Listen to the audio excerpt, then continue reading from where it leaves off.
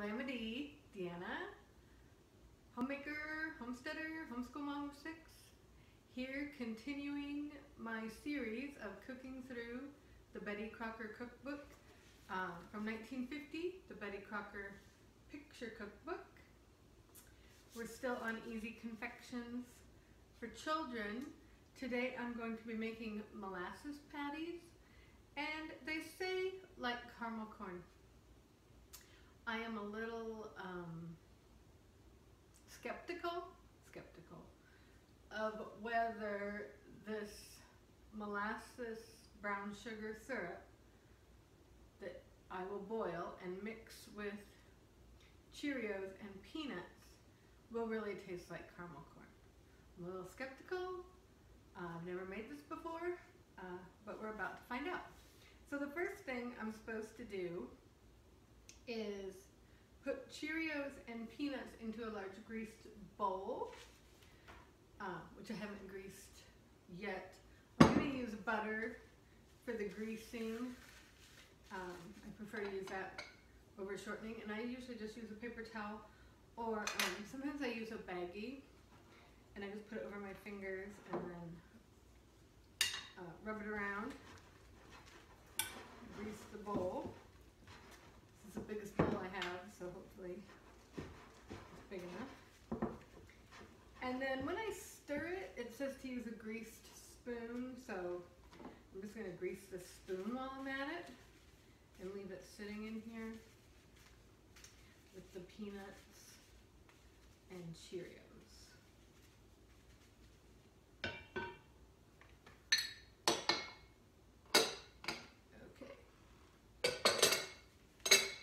My greased bowl. I'm supposed to do four cups of Cheerios.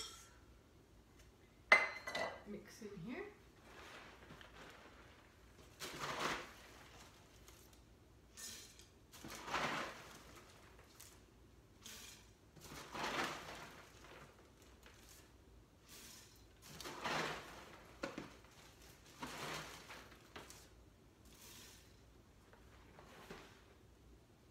And one and a half cups of peanuts I've already measured. Um, it says salted peanuts. I'm using dry roasted peanuts that are lightly salted. Put those in there. Just mix it a little. We'll set that aside. And now um, make the molasses mixture. So into a saucepan, I'm supposed to put one and a half cups brown sugar.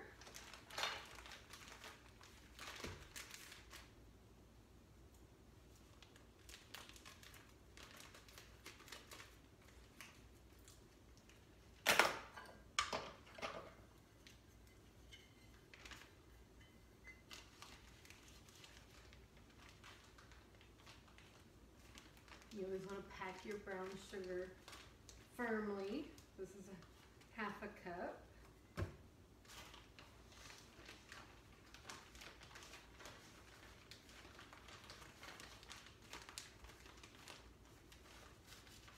Another half a cup is one cup.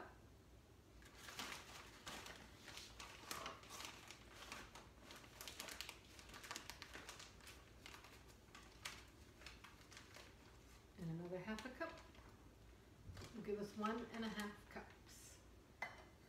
And then we're also supposed to put in there um, half a cup of water and three quarters cup of light molasses. Um, you know what, I'm to grease this. It's a little tip if you um, ever measuring like honey or syrup or molasses, if the cup is greased, slide right out. So I'm gonna measure three quarters cup. This says mild flavor. I didn't actually see where it said light or dark, but there was the um, black strap, you know, which is extra dark, and then this said mild flavor. So I just went with that. It didn't say light, but it said mild. So I was hoping that was the same thing. It's always good to measure your liquids at eye level.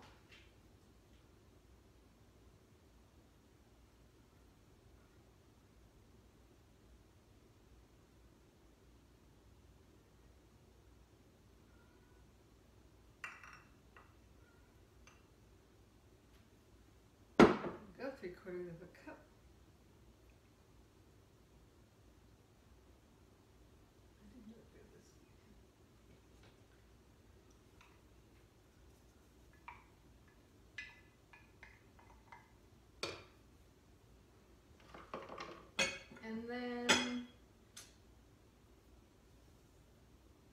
Four teaspoons of vinegar.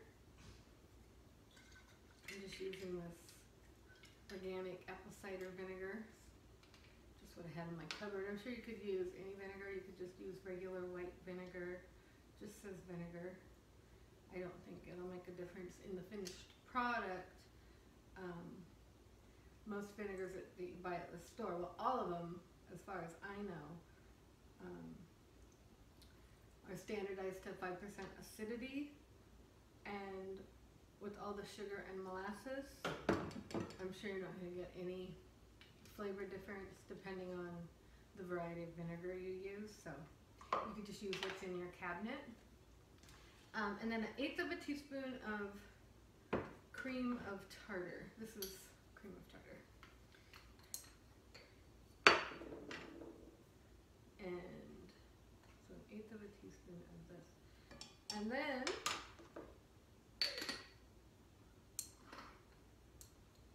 it says cook over low heat, stirring occasionally to 250 degrees. So I'm gonna put this on the burner. It says low, so I think I'm gonna put it on in between two and four. Stir it up here. It'll probably take a while to get to 250 degrees.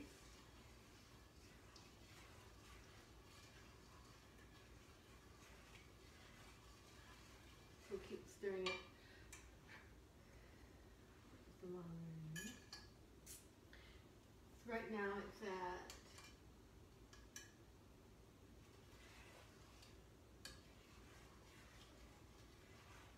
seventy degrees, so we have a ways to go. So I'll read to you. Um, so I have read through storing food and food equivalents, food substitutions, um, special terms, how to measure uh, in my previous videos. And now we're on to uh, how to prepare.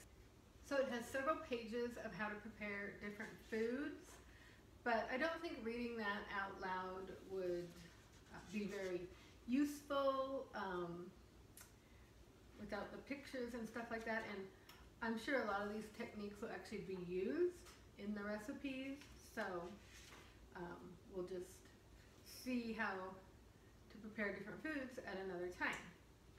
So what I am going to start with then is good nutrition brings double happiness. So this is your nutrition advice from 1950.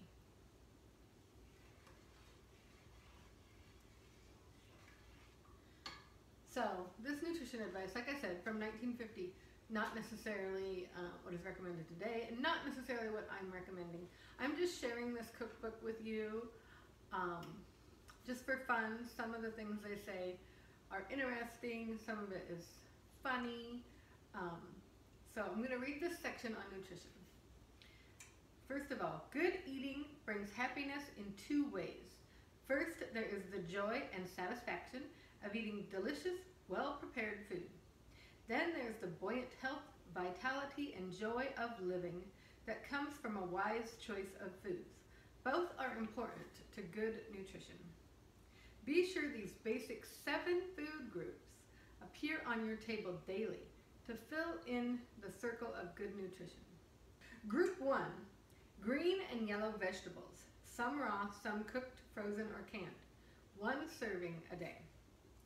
Group 2, oranges, tomatoes, grapefruit, or raw cabbage or salad greens, one serving a day. Group 3, potatoes and other vegetables and fruits, raw, dried, cooked, frozen, or canned. Two or more servings a day. So they have, they want you to have a minimum of four servings of fruits and vegetables a day, so that's not bad. Group 4, milk and milk products, fluid, evaporated, dried milk, or cheese. One and a half pints to one quart milk a day for each child, a quart a day for a nursing mother, and a pint a day for all others. Okay, group 5, meat, poultry, fish, or eggs, or dried beans, peas, nuts, and peanut butter, three or four eggs each week. Have one serving of meat, poultry, or fish each day. Occasionally dried beans or peas can be served instead. Group 6, bread, flours, and cereals. Natural whole grain or enriched or restored. Three or more servings a day. Group 7, butter and fortified margarine. There's no recommendation for amount on that. Okay, if supplies are limited or unattainable for you, you can still give your family an adequate diet when you learn how to use the basic seven.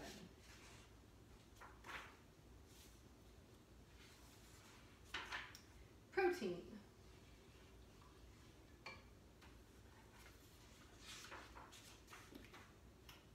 Protein builds and repairs body tissues.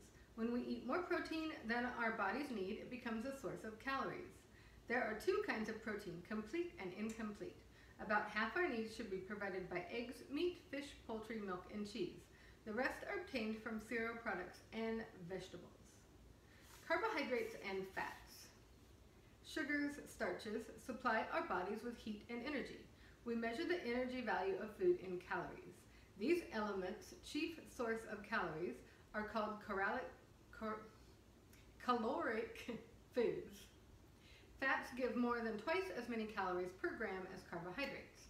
A tablespoon of butter or tea, two tablespoons of sugar, both equal 100 calories. Vitamins and minerals. Why we need them. Best food sources. Vitamin A helps resist colds to maintain health of mucous membranes and skin.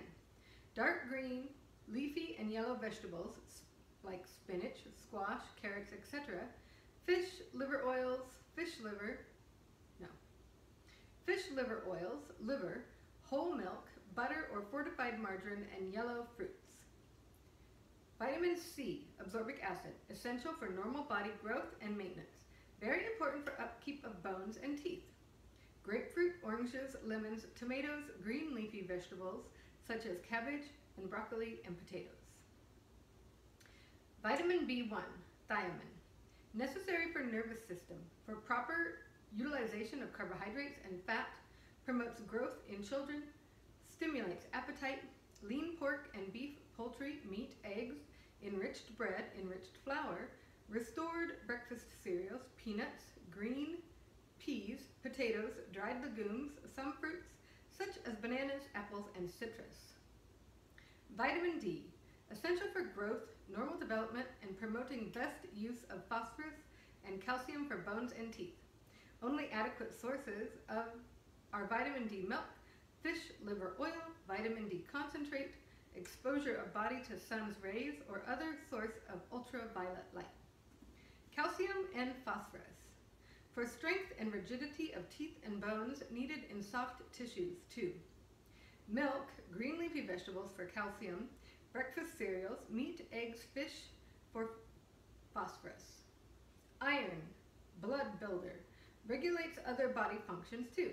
Liver, lean meat, eggs, enriched bread, dried fruit and beans, green vegetables. Iodine, necessary for normal function of thi thyroid. Saltwater fish and iodized salt are the sources. Vitamin B2, riboflavin, needed for healthy skin and hair, good digestion, sound nerves. Some sources, oh, they have the same sources as thiamine, which was lean pork and beef, poultry, milk, eggs, enriched bread, enriched flour, restored breakfast cereals, peanuts, green peas, potatoes, dried legumes, some fruits such as bananas, apples, and citrus. And another B vitamin, niacin, chief factor in cure and prevention of pellagra. Deficiency results in poor mental state and poor skin conditions. Has the same sources as thiamine and riboflavin. see how this is doing.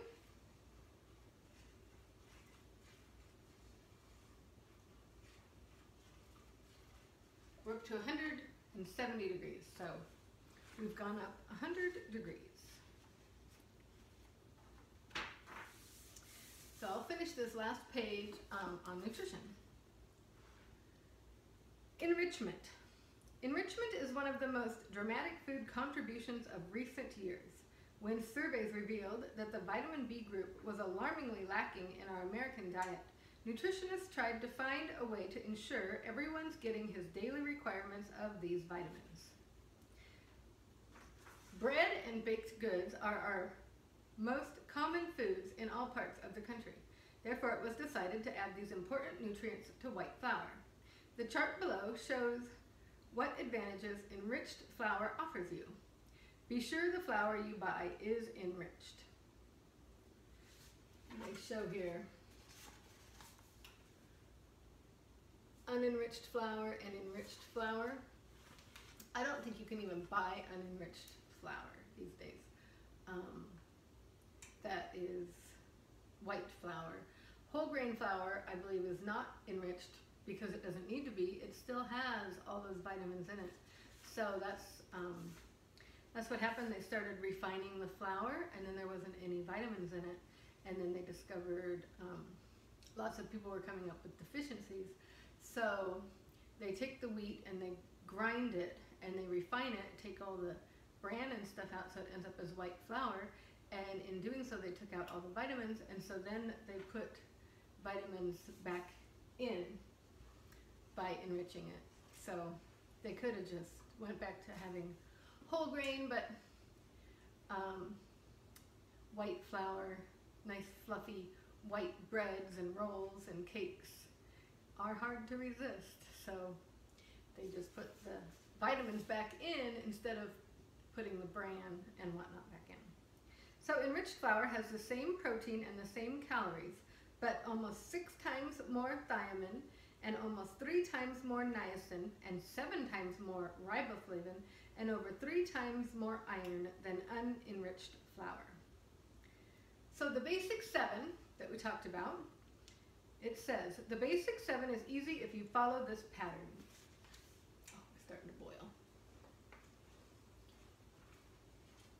Which is good, it won't be much longer. Okay, the basic seven is easy if you follow this pattern. Breakfast. For adequate meals, have fruit, cereal, and milk, and bread and butter. For complete or abundant meals, add to that fruit, well, rather have fruit, cereal, and milk, eggs or meat, and bread and butter. So they added eggs or meat. For lunch, for an adequate meal, have a main dish, vegetables, bread and butter, and fruit. For a complete or abundant meal, add to that cakes or cookies or pudding. I'll go for the abundant meal.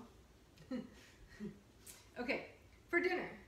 For an adequate meal, have meat and potatoes, green or yellow vegetables, salad, raw vegetable, fruit, no, bread and butter and fruit. For a complete or abundant meal, add to that an appetizer or soup, uh, and dessert, pie or cake. The same basic pattern should be used for all members of the family. Simply adjust it to meet individual needs of age, work, activity, and special diets. So by adjust, I'm guessing they mean portion sizes, but keep the same uh, varieties of foods. So growing children 1 to 16 years need more food for their size than grown-ups. Serve according to size and age of child. For adolescents, 14 to 20, need more food than at any other time in their lives. A few pounds overweight at this period is an asset for health. Double and triple the servings. Adults, 20 to 100 years old, need food according to size and activity. Women during pregnancy and lactation require additional food for certain elements. Small servings for the inactive, medium for moderately active, and large servings for the very active.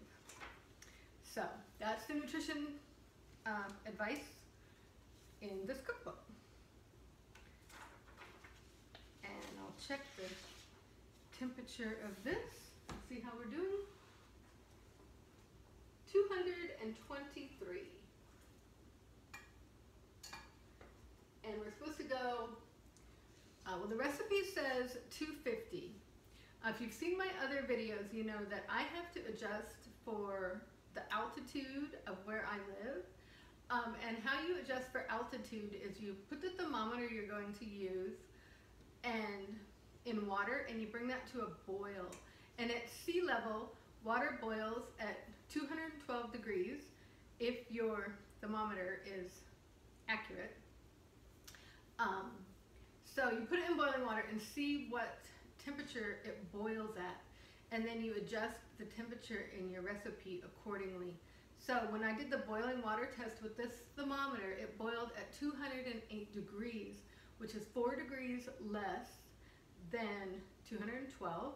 So therefore I will heat this mixture to four degrees less than the recipe. So 246 degrees is what we're looking for.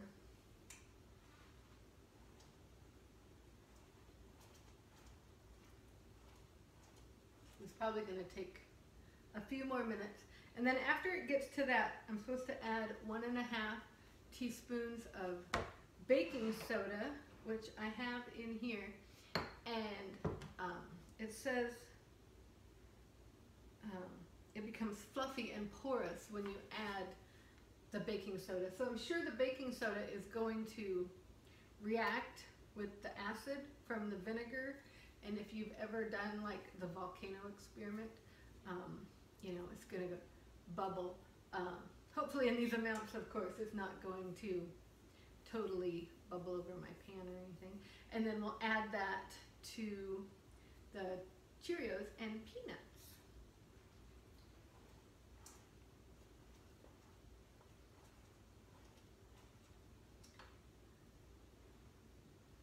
We still got 20 degrees to go.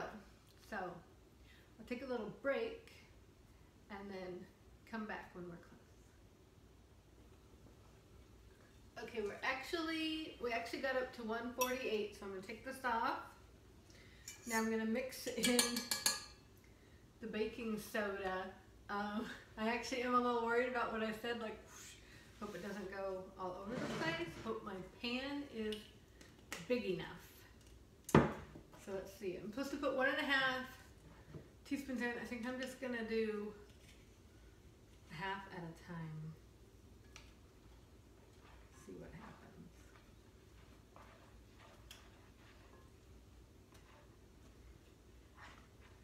Okay, I think it's gonna be okay. I'm gonna put the other two halves in. It's definitely growing. I'll show you here in a second. Can you see how it's getting fluffy? So now I'm supposed to put it in here.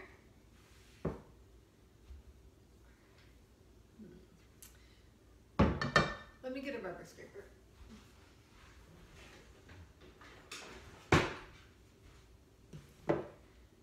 Okay. Now we're going to put it in here. It really kind of fluffed. It's kind of cool.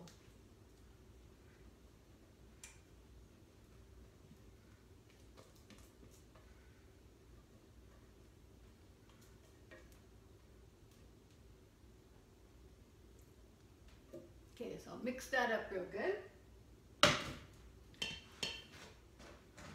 With the peanuts and Cheerios.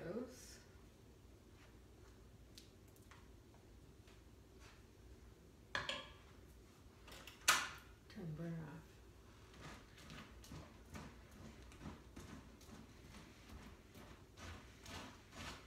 So this recipe, you can use, uh, it calls for Cheerios or Kix.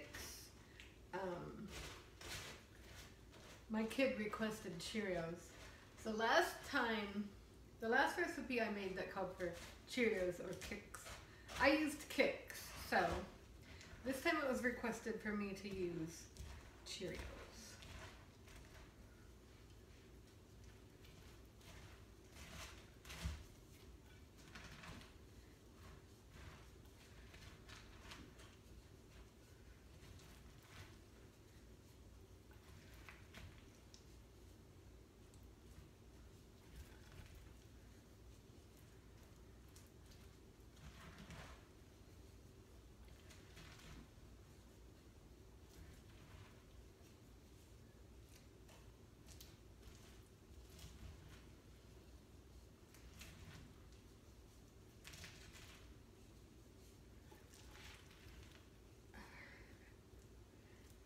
Getting quite thick already. It said to cool it slightly um, till it starts to get thick, and then I'm supposed to make it into patties on a cookie sheet with greased hands. But it's getting pretty thick. I'm not sure how long I should wait. But I'm also worried about it burning my hands.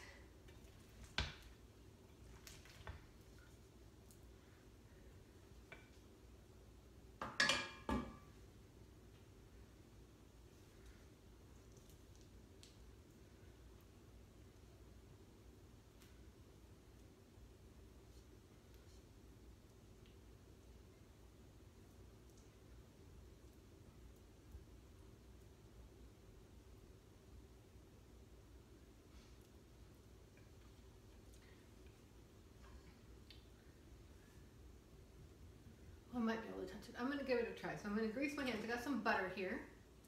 So this will be fun. Grease my hands up.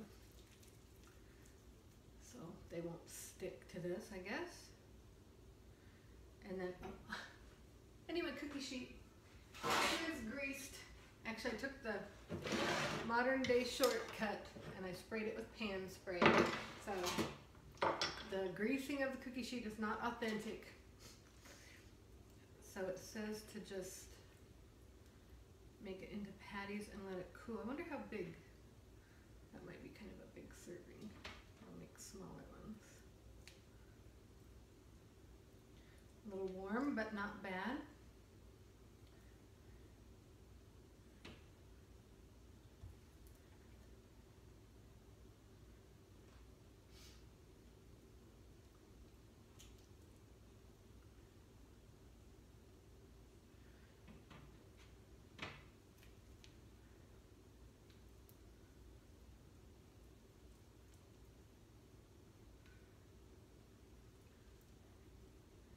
To re-grease my hands starting to stick. Pretty sticky stuff.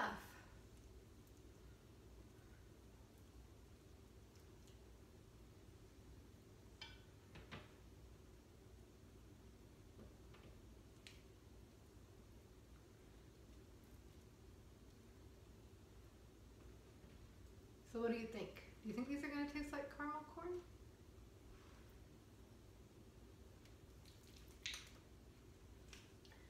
More than I can put on this cookie sheet.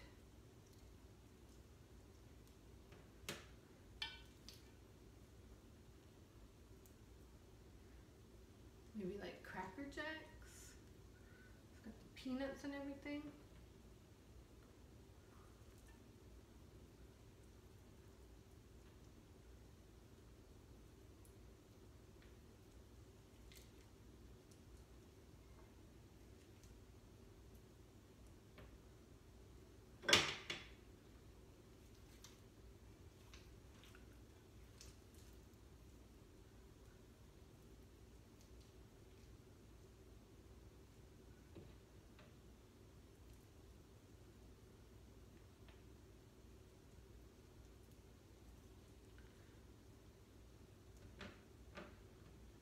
This recipe makes a lot.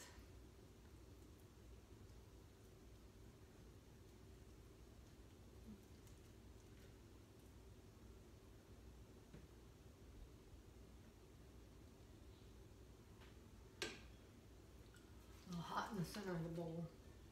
Stick to the edges.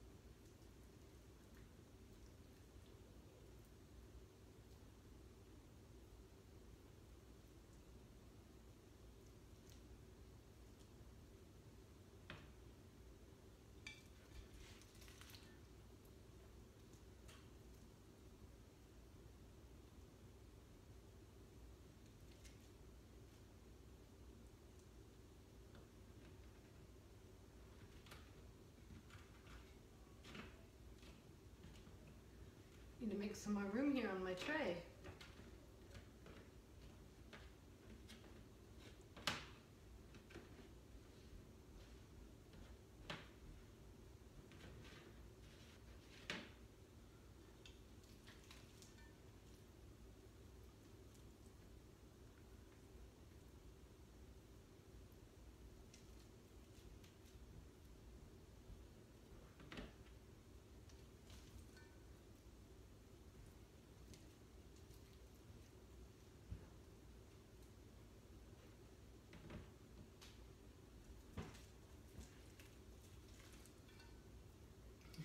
Really starting to stick to my hands because I am out of butter for greasing my hands.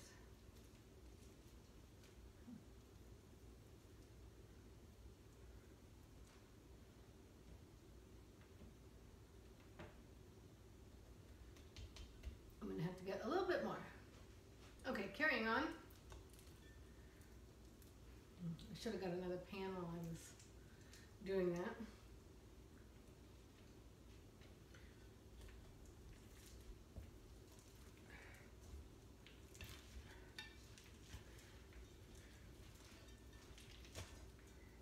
Probably need to fast with these. It's getting stuck to the bowl now too.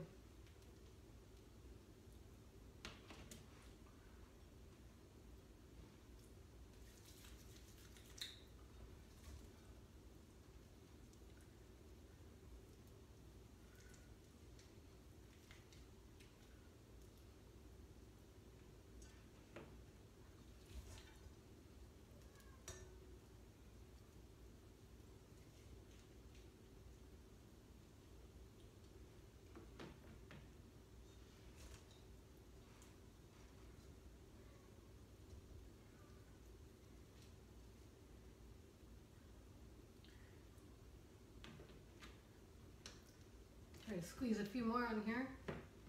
So, only got a couple left. I think.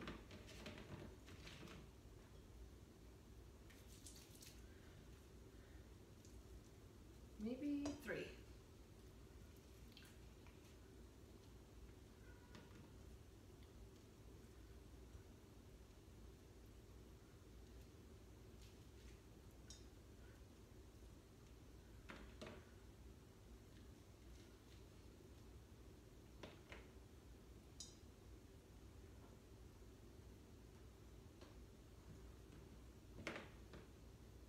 All right, that's it.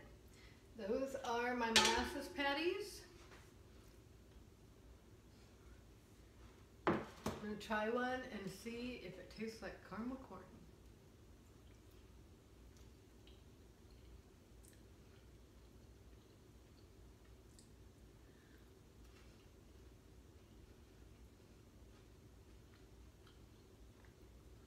It actually does remind me of Cracker Jacks. Very good. I like it. Recommend. So, uh, that's it for today. I gotta wash my hands, so I'm not gonna pick up my cookbook, but this is the molasses patties from the 1950s Betty Crocker picture cookbook, Confections for Children. And I'm super excited because that was the last recipe on the first page that I've done. So we get to turn the page next week and it'll be fudge. I know not everybody likes fudge. I love fudge. I definitely have a sweet tooth. So I'll be making fudge next week from the Betty Crocker cookbook from 1950. Subscribe if you like this video and want to follow my journey through the Betty Crocker 1950s cookbook. Thank you for watching.